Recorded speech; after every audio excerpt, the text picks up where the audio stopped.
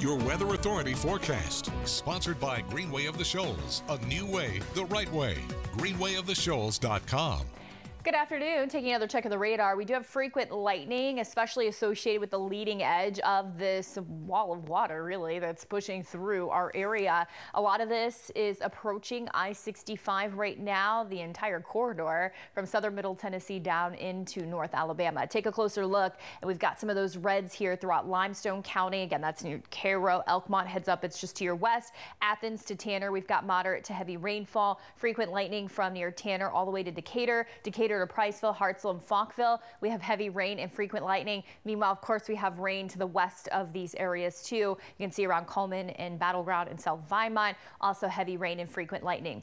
Light to moderate steady rain continues for the shoals all the way down toward the Russellville area. Meanwhile, out ahead of it, Huntsville, we have yet to have any rainfall, but it looks like we just got a lightning bolt right near downtown, and we'll continue to track this as it moves in from that direction. Again, the look at the rainfall totals over the past three hours and just a sample of some of those yellows show you that rainfall rates have been pretty high, and we've seen three inches on the Doppler in just a couple of hours out there. So localized flooding will will be a threat tonight, as well as that frequent lightning. Take a look at our Wheeler Lake camera where it is coming down and it's 85 degrees and it's so humid out there. Dew points are in the upper 70s and view right now from Athens showing the cloud cover and of course the rain on the lens. 86 in Huntsville now, 86 in Fayetteville. Rain cooled air out in the shoals, low to mid 70s from there to Russellville. It's 85 in Decatur, meanwhile 89 in Fort Payne. Here's a look at those dew point values. Again, very high in the upper 70s for most of us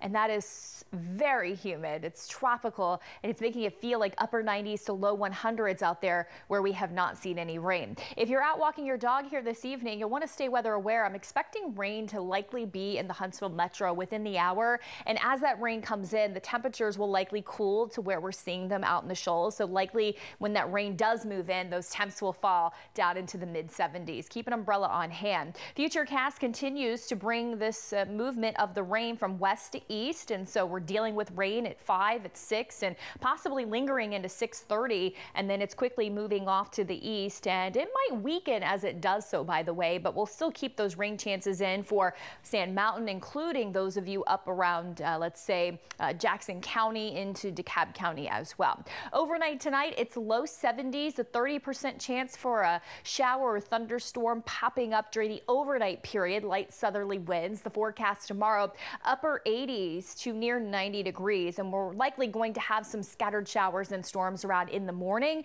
and throughout the early afternoon before tapering off. Here's the forecast for the rest of the weekend in the Sand Mountain area in particular. Upper 80s for Saturday and Sunday. Just a 20% chance now of a pop-up shower or thunderstorm for the back half of the weekend. And for the shoals, look at the heat building into next week. Mid to upper 90s, and that's the case for the Huntsville Metro. Coming up in the next half hour, more live radar checks, and we'll take closer closer look at what's causing this big time heat to once again develop across the Tennessee Valley.